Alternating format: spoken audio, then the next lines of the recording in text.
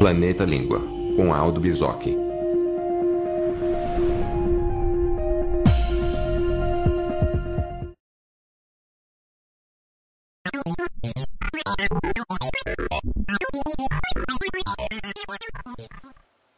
Oi pessoal, bem-vindos ao Planeta Língua. Continuem curtindo, continuem compartilhando os vídeos.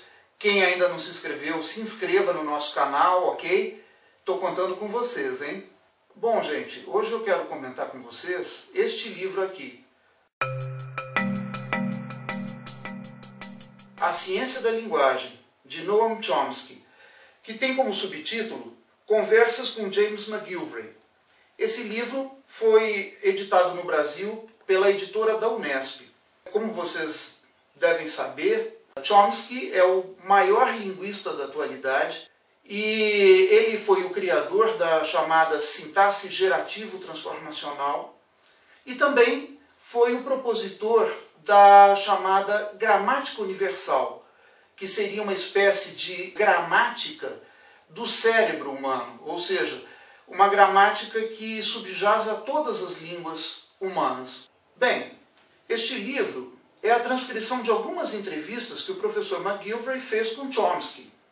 É interessante notar que McGilvray não apenas dialoga com Chomsky, mas ele também acrescenta comentários, alguns até bem longos, que funcionam como uma espécie de nota de rodapé, ou melhor, uma nota de fim, em que ele procura aclarar certos pontos mais obscuros, que justamente por se tratar de um diálogo, é, acaba não, não ficando claro para quem está de fora. Segundo a orelha do livro, as intervenções e os esclarecimentos de McGilvray permitem que o texto seja acessível a todos os leitores.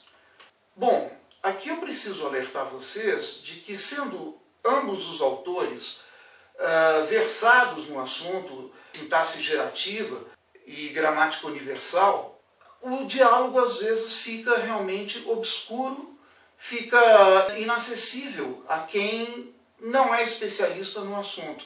Eu diria que até uh, algumas pessoas que conhecem razoavelmente a teoria, como eu próprio, uh, às vezes ficam perdidas na leitura desse livro. Ou seja, ao contrário do que diz a, a orelha, esse livro não é acessível a todos os leitores, pelo menos não de imediato. O que eu sugiro a vocês, se vocês têm curiosidade e interesse nesse assunto, que é basicamente o tratamento da linguagem por meio de, de ferramentas computacionais e matemáticas, uh, lendo outros autores que traduzem Chomsky numa linguagem mais didática.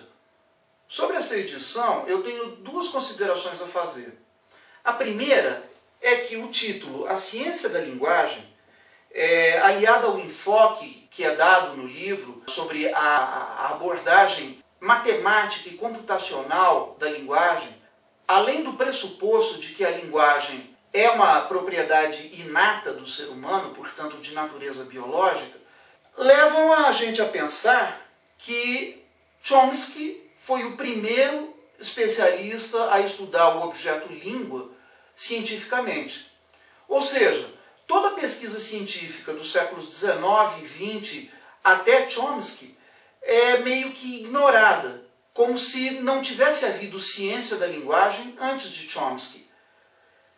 Essa é uma postura uh, relativamente comum entre os especialistas americanos. Existe um certo etnocentrismo, uma coisa de achar que só eles é que fazem ciência, né? e que o resto seria filosofia da linguagem.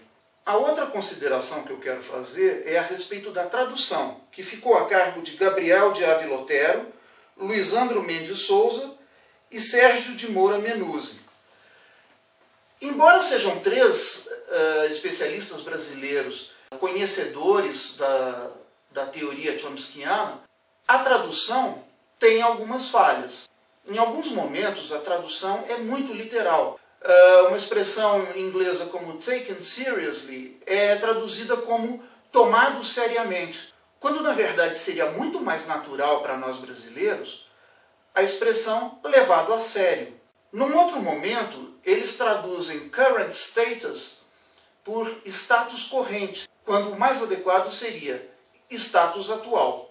Mas o pior de tudo, gente, é na página 70, quando eles dizem o seguinte: Podemos pegar algumas partes para estudar, tal como Galileu quis fazer com aviões inclinados, e talvez consigamos elaborar alguma coisa.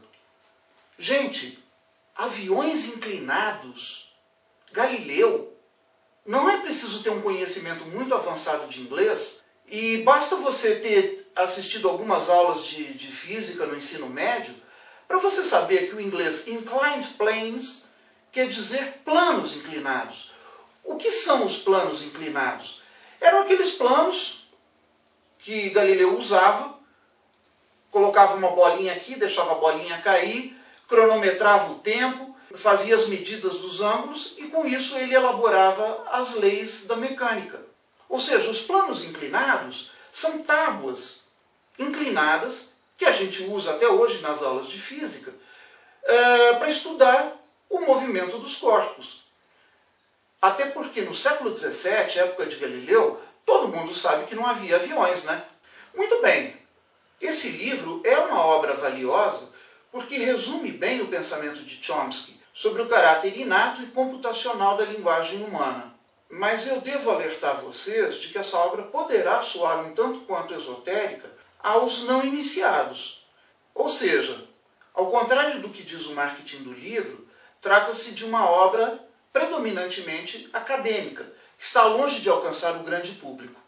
Enfim, gente, eu não deixo de recomendar a leitura desse livro, porque, como eu disse, ele resume bastante bem o pensamento de Chomsky e as suas ideias, que revolucionaram a linguística uh, a partir dos anos 50 do século passado e que até hoje continuam revolucionando, apenas alertando que essa leitura tem que ser feita com uma certa calma e é preferível, ou melhor, é desejável que você tenha alguma noção prévia das coisas sobre as quais eles estão falando. O que você pode conseguir até fazendo consultas à Wikipédia e a outros sites da internet.